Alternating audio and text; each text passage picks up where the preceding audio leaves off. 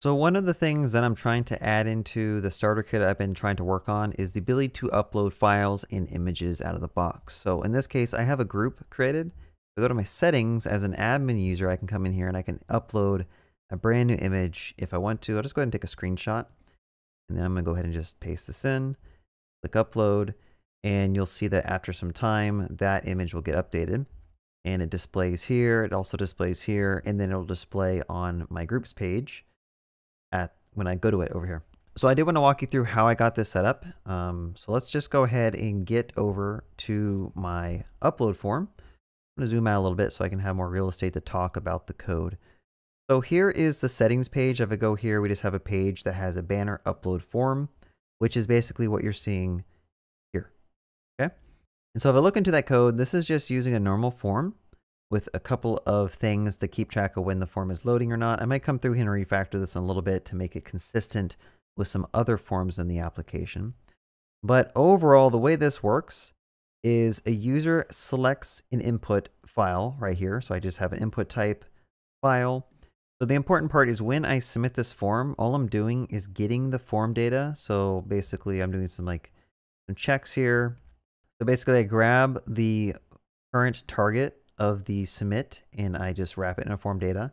And then I use that to post it to one of my backend endpoints. Now again, I'm not sure why I'm not using a server action. I do think files can be sent on server actions, although I think it might be experimental. So that's probably why I avoid it.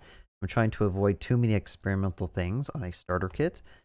So let's go to the actual endpoint. So I do have an API groups images route.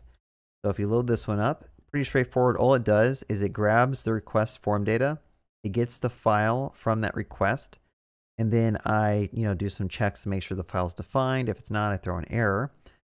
But when it is defined, I call a use case, which does a couple things. First of all, it checks to make sure that it is a type of image. So make sure that the, the MIME type is starting with image slash. I also check to make sure that the size of the file is not greater than a certain max size. I think right here I have it set to 5 megabytes for images. That might even be too high. But I do do some checks to make sure that, that it's not too big. I also check to make sure that, hey, are you an admin or an owner of this group? Because you don't want anyone who's just a member to be able to change the group image. So I have some authorization checks here. So then if everything is good, I go ahead and create a UID and I update the group information to have that new banner ID, right? So like if I were to go to my schema, I have a group and over here I keep track of the banner image. So the banner ID is just a UID and that's used to point to a R2 bucket to know where the file is. Okay, I am using R2. You could also use S3 if you want to, which leads us to the next step, which is upload file to bucket.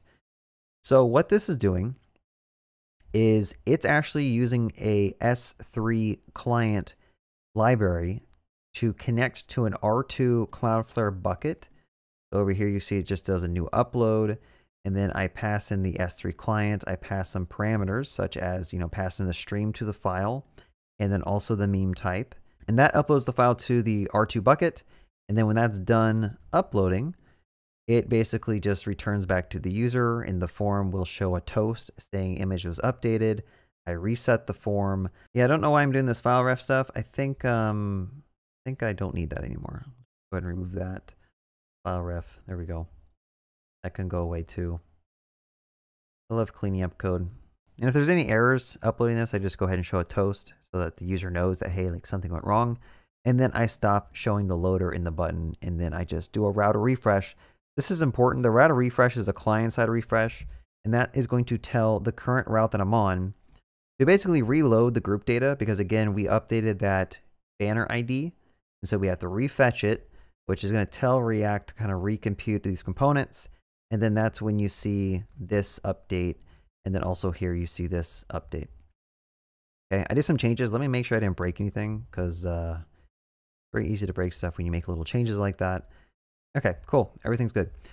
So that is how that kind of works. Again, this code isn't public. It's part of a starter kit that I'm working on. So if you want a collection of code that is ready to go out of the box to build your SaaS application, this will be part of it um, for file uploads. And I'm going to walk you through how to set up an R2 bucket, how to set up the CORS permissions properly, how to set up your API keys. so that when you create your own SaaS application, you can go ahead and like upload things to your application like I showed you. All right, other than that, I hope you guys enjoyed watching. Leave a comment below if you think there's a better way I could have kind of structured my code because I'm still trying to play around with some stuff, trying to make sure I have everything structured the way I think is best and easy and intuitive. But call me out in the comments if you think there's a better way to do this. Other than that, yeah, have a good day and happy coding.